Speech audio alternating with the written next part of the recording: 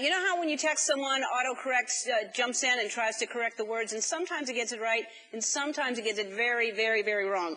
And uh, here's one. This is from Sydney Glang in Houston, Texas.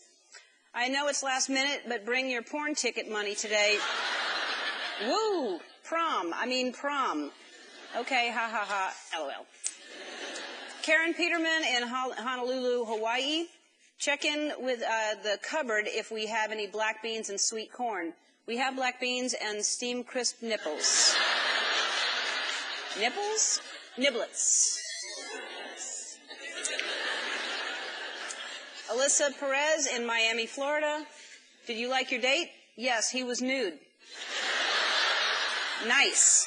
LOL.